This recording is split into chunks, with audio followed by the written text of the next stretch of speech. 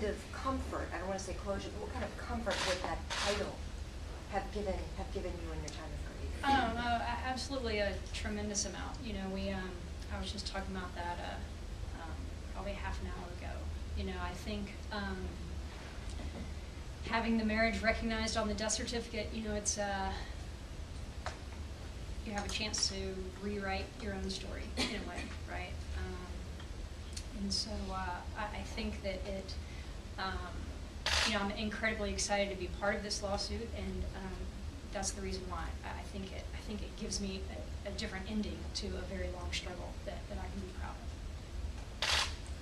When you lost your spouse, it's overwhelming to begin with. But it sounds like what happened after that was just, just made it worse. I mean, you talked about it was the funeral home. Why is that? What happened? Um, yeah, absolutely. It, it, it made it worse. It, it made it um, much more difficult. You know, 12 hours, 12, 14 hours after Pam died, I was in the funeral home. Um, uh, and being told that, you know, it was not an option to have um, the marriage recognized on her, her death certificate. And, um, you know, that, that was a long struggle. Um, I was her full-time caregiver for many months, and um, to have that as um, kind of the final act, you know, kind of, kind of wrapping everything up um, with her life was absolutely tremendously hard.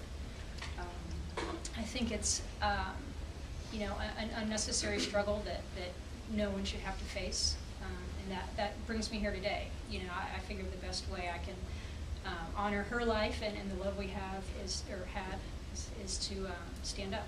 So that's what I'm